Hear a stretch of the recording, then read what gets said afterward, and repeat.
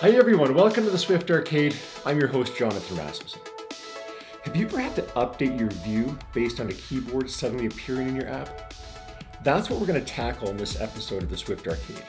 I'm going to show you how to adjust your view so when that keyboard appears, your elements aren't blocked, users can still enter text, and your app just looks butter smooth and good because you've updated your view based on the appearance of that keyboard coming in. So if you've ever wondered how to do this, or you're wondering what are the mechanics that go on behind the scenes to make all that happen, come on to the Swift Arcade and I'll show you a couple of different ways we can tackle this challenge.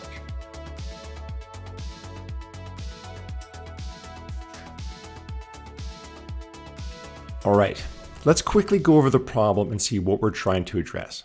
Here we've built a nice looking view, got a couple of text fields for resetting your password.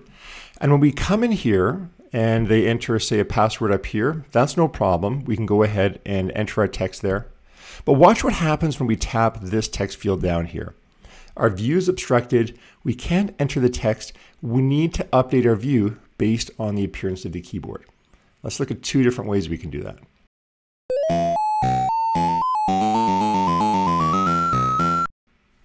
The first way we're going to tackle this is very crudely. We're just going to detect the presence of the keyboard and slide the entire frame or view up two or 300 points. Let's see how that works. So I've got a function here called setup keyboard hiding. And if we go take a look at what that does, this is how we register and detect the appearance and disappearance of the keyboard. We hook into Notification Center, we add an observer here, keyboard will show, keyboard will hide, hooking into the UI responder, keyboard will show notification, keyboard will hide notification. And when these things happen, these selectors our functions are going to call, and this is how we can deal with the appearance and disappearance of the keyboard. The very simplest thing we can do, very crude, is simply take our entire frame of our view and slide it up, say 200 points. That's what we're going to do when the keyboard will show. And then when the keyboard will hide or disappears, we're just going to put our frame back to zero. So if we run this now and see what happens, what we'll see is when we tap our text field and it detects that keyboard's presence, it's going to slide everything up 200 points. And when we lose focus and give up the responder, it's just going to slide it down. This is the simplest, easiest, crudest thing we can do. It might be good enough for your app just to get you going, but it's not perfect. To really do this well, we probably have to add a little more logic to detect when the keyboard is presented, because if I tap it again, it's just gonna keep sliding it up or down. For example, here and here. So I kind of need a Boolean in there to track whether or not we have already adjusted it. But this is a good, simple way just to kind of get things going.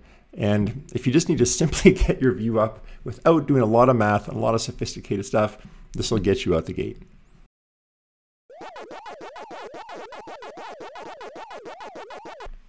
Now, if all you needed to do is bump it up and then bump it down, you're done. You can stop watching this video. You can go back to whatever you're doing. Uh, you've probably solved the problem. But if you want a much more sophisticated or more elegant way of dealing with this, one that's a little bit smarter, not as clumsy or random as a blaster, watch what we can do here. I'm going to comment out this simple, crude bump up, bump down, and I'm going to bring in this different way or a more elegant way of basically dealing with the appearance of the keyboard in the app. And watch what this one does. This one's a little bit smarter, and then it can figure out what element here was tapped. For example, if we tap this text field up here and the keyboard appears, we don't need to adjust the view. It's perfectly fine where it is. We don't need to move things around. We can leave it alone. Whereas if we tap down here, this one figures out, hey, our view would have been obstructed. We do need to shift things up. Let's update the view accordingly. Okay, let's take a look and now see how we can go about doing this with this code here. Okay, there's actually quite a bit of magic going on with that little snippet of code, which we're going to go over shortly. But first I want to explain at a high level what's going on here. First thing we do is we detect the presence of the keyboard. You already saw how to do that. We can add that observer and hook in and know when the keyboard is presented. Then what we're going to do is we're going to determine the position of the element was, that was tapped.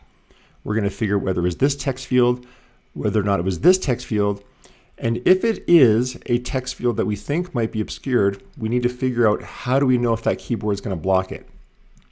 What we do there is we figure out and determine what the height of the keyboard is.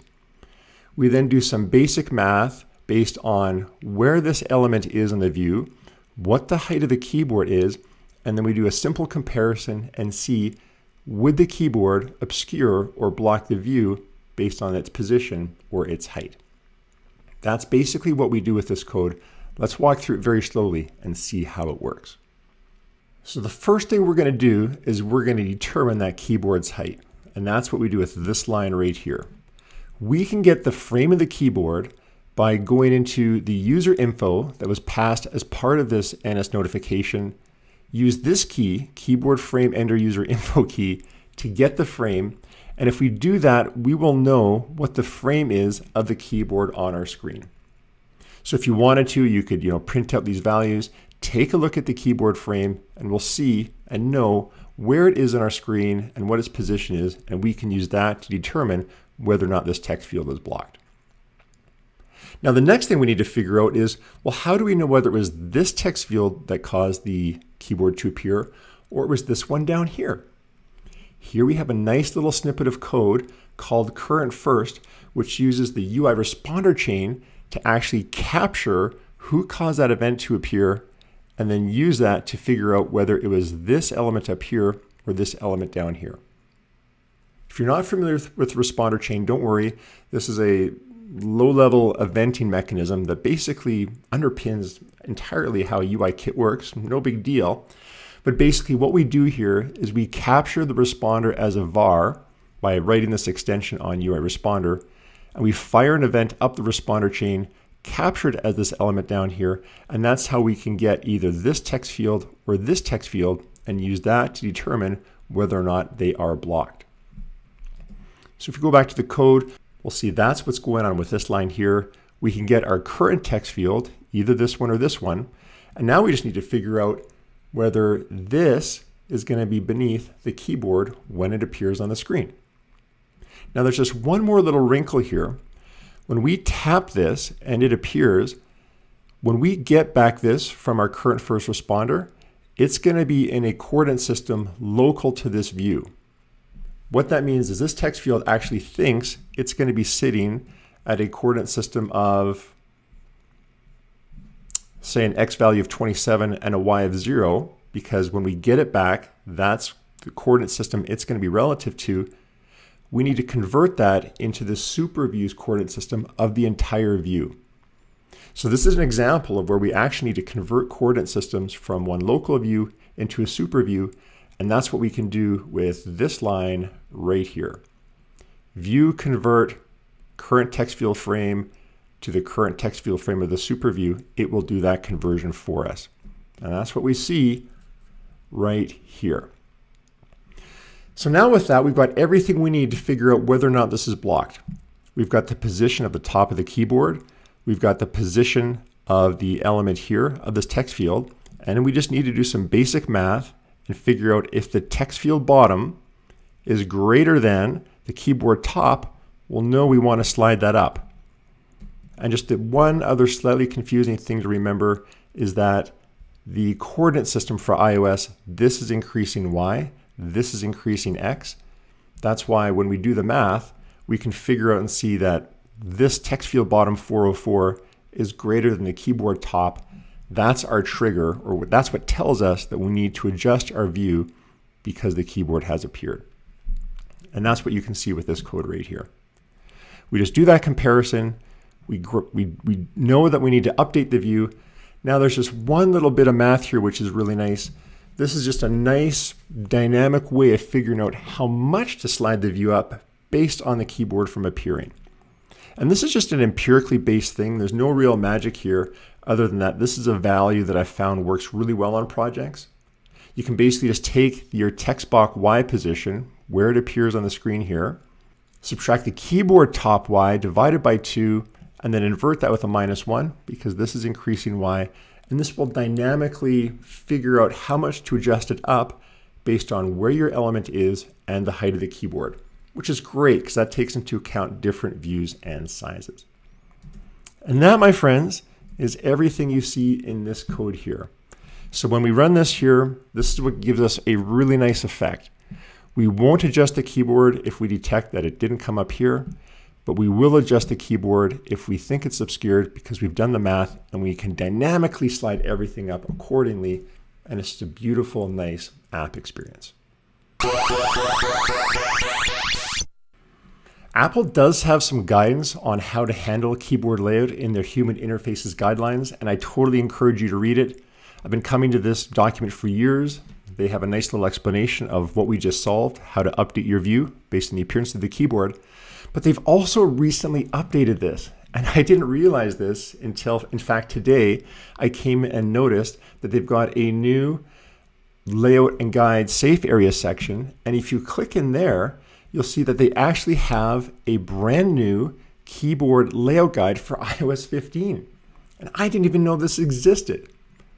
So in the future, I'm definitely going to want to explore this. I mean, when I come into this UI keyboard layout guide, see how this works in iOS 15. And they've got even some nice sample code down here. If you click on adjusting your layout and keyboard layout guide, you have a nice sample project. You can download this and if you have the luxury of working in iOS 15 and you're using some brand new layout guides, you can investigate and see if this is a more elegant way of updating your view based on the keyboard guide. That's probably what you want to do. I unfortunately am maintaining apps that can't use iOS 15, so I still have to use the existing techniques that I showed you here in this video. But there you have it, two different ways of tackling this. One, the more custom way I showed you, but in the future, definitely check out this keyboard layout guide available in iOS 15. If you want to play with any of the code that we've got here today, I've got a text version of everything we went to on my iOS professional repo. I'll leave a link in the show notes. So you can just click on this and go through everything we talked here. I've also got an example download app in there so you can play with the source code and see how that works. And I'll also leave some links in the show notes for where you can go read about Apple's guidance on their brand new layout guides. And hopefully I'll do a video of that in the future. But until then, I'll let you go ahead and read that on your own. All right, well, there you have it, folks. A couple different ways of dealing with views and keyboards. You've got a crude way of just bumping everything up. You've got a more sophisticated way, which does some math to figure out whether or not to even show the keyboard in the first place.